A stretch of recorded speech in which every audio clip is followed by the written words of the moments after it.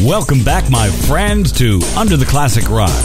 This time I head deep into the interpretive spirit of Emerson, Lake, and Palmer. Welcome back, my friends, to the show that never ends. Ladies and gentlemen, Emerson, Lake, and Palmer.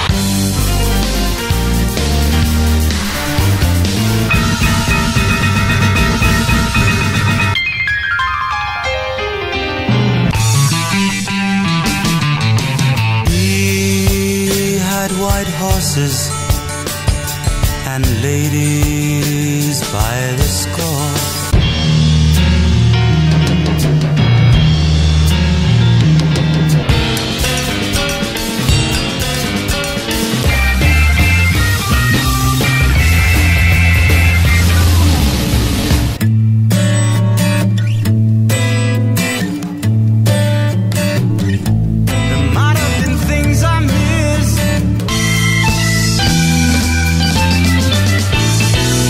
Some may be upset with this observation, but I think ELP was just a continuation of Keith Emerson's 1969 band, The Nice, except with much better players. Wise guy, huh? Yeah. Much, much better musicians. I mean, from the first cut of the first album, you can tell you are listening to some very skilled, kick ass musicians.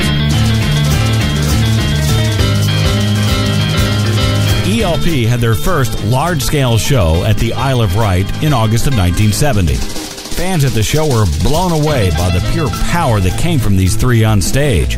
Some said the band was so good it was scary. The band came out of backstage jams between Keith Emerson of The Nice and Greg Lake of King Crimson. Their bands were on the same marquee for a number of shows. During these impromptu jams, they discovered something. They wanted their own band. They started talking to drummers, and one of them was Mitch Mitchell of Jimi Hendrix's Experience. Mitchell suggested a jam. The press got wind of this impending jam, and voila, instant supergroup. Emerson, Lake, Mitchell, and Hendrix. While the jam never happened.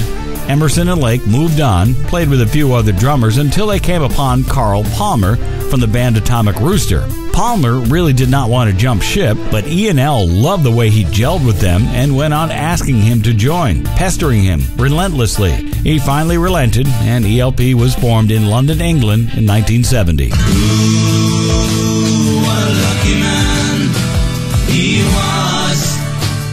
The Isle of Wight gig with a 600,000 plus audience, word of ELP spread pretty quick.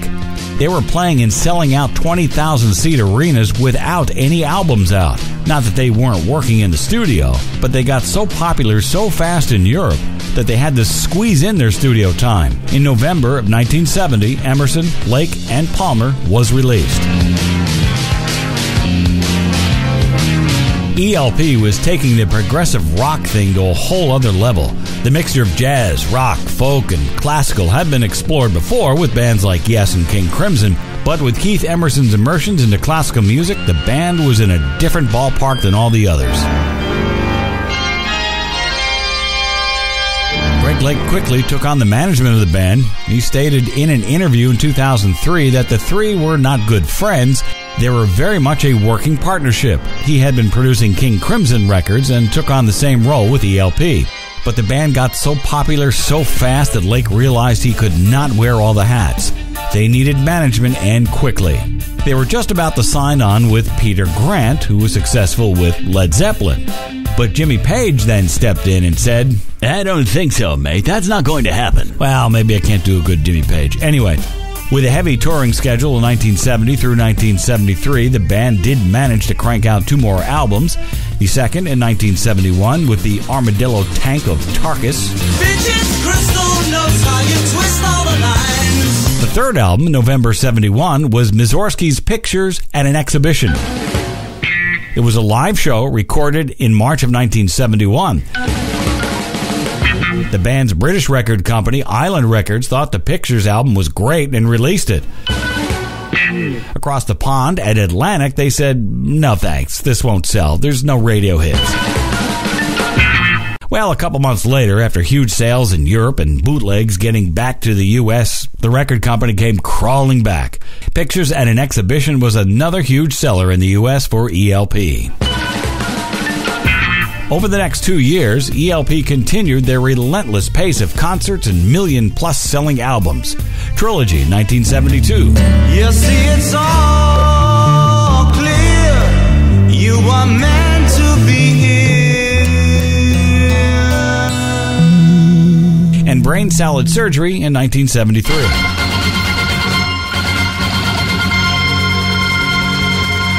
And then, in 1974, they took a break. Three years of dead silence from the first supergroup. Though the record companies did release Welcome Back My Friends in August of 74, which was the band's best selling album. Oh, by the way, Keith Emerson hated that title supergroup.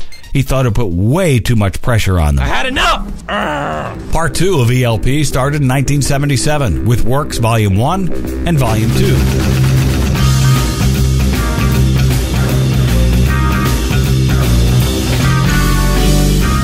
Volume 1 was new material, but three quarters of the double album was solo work from each.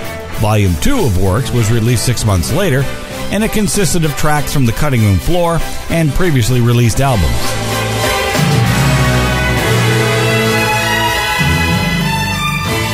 The band went on to tour to support the Works work. The first 18 shows were done with a full orchestra and choir, and then the money ran out. So they had to finish the 1977 tour with just Emerson, Lake, and Palmer. As with any band, the ELP egos started to clash in 1978. Keith Emerson moved to the Bahamas, but he was able to persuade his other bandmates to record another album in the Bahamas, and they called it Love Beach.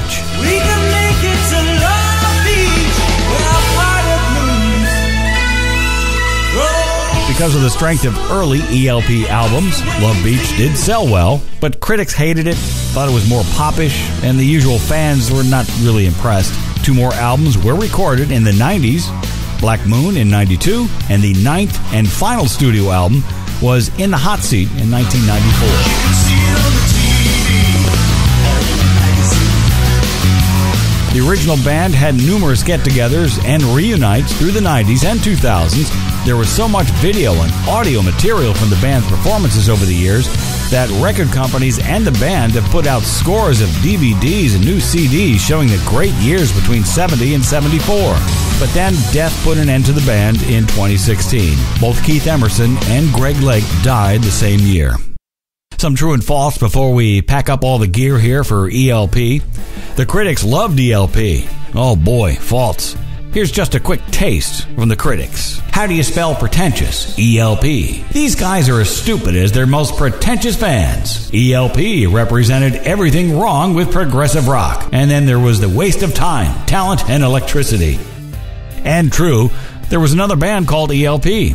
In 1986, Emerson and Lake put together a band with drummer Cozy Powell. Palmer was too involved with Asia to come back and play with them.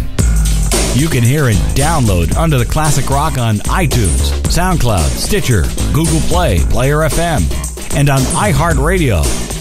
If you have any suggestions for upcoming shows, you can reach me at undercr at gmail.com or on the Under the Classic Rock Facebook page. And I thank you for listening and downloading by the thousands Under the Classic Rock. Thanks a lot, and we'll talk to you soon. Uh, hello? Uh, yes, this is uh, Keith Emerson's brother, Ted. Uh, some facts you forgot on your show. Oh, wait, hold on. Ted? Did you say your name was Ted? Yeah, yeah, yeah, yeah, it was Ted. I, I taught him how to play chopsticks at two. Okay, I've done pretty good research on on uh, Emerson, Lake, and Palmer. I have not seen any Ted as a brother of Keith. Well, yes, I'm, I'm not I'm not that well known, that's for sure. But I heard your fine show. But you forgot one thing. What's that? Uh, Ted? He, yes, he, was, he, wa- no, yes, uh, he was inducted into the Hammond Hall of Fame in the 2000. You forgot to bring that out in your fine show. Th- uh, thank you, Ted Emerson. We'll talk to you soon. Oh, one more thing.